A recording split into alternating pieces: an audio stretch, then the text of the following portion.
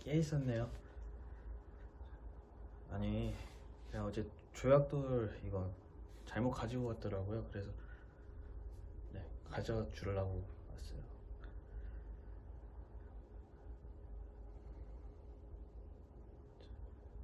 근데 왜 그날은 그 지팡이도 없이 혼자서 그 먼 곳에 갔었던 거예요?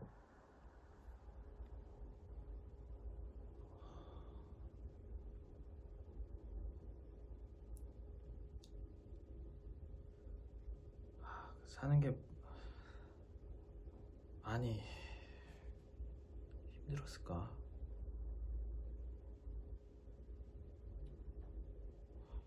아무리 그렇다고 해도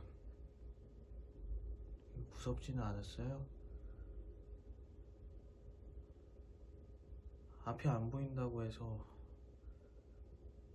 두려움까지 사라지는 건 아니잖아요. 그쵸? 그냥 두려웠을 거예요, 많이.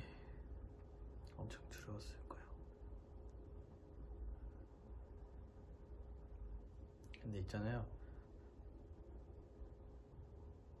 저는 그런 용기도 부럽기도 하더라고요. 그냥 다 전부 싹 다 잊어버리고